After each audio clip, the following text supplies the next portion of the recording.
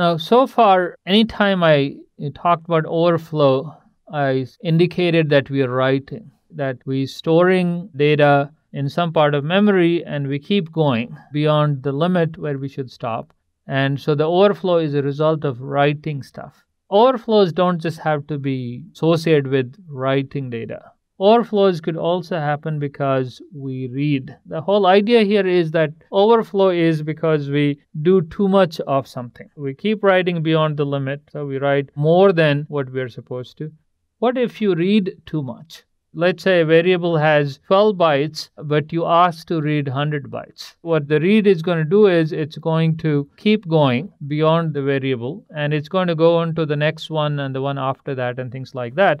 So wherever in memory you have that variable that you're reading, if you go beyond that, you're going to get into other variables. Now, there's a fairly well known vulnerability in the OpenSSL code, which is used in all to secure all kind of online transactions and secure communication and so on. It was called the Heartbleed vulnerability. Actually, it was an overflow related vulnerability, but it wasn't writing into the stack beyond the memory that we had allocated for the variable into which we were writing.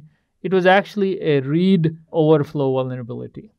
Actually, this OpenSSL Heartbleed did is that it kept reading beyond the variable that you're supposed to read and there was some juicy stuff beyond that to do with keys and things like that. So if you read too much, you're going to get additional data beyond what's really should be in this variable that you're trying to read. And so the additional data that you got could be used to figure out sensitive keys and things like that. And that's what the vulnerability was. But the vulnerability comes from the fact that we were reading beyond the variable that the code was supposed to access.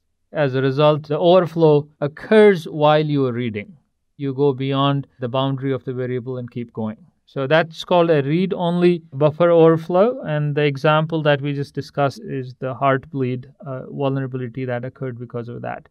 Buffer flows don't have to be on stack only, they can happen on the heap. And buffer overflows don't have to be just when you write, they could also happen when you read. It's just going beyond the boundary where you should stop. If you don't do that, that's the overflow. If you're reading some data, then it's read only buffer overflow.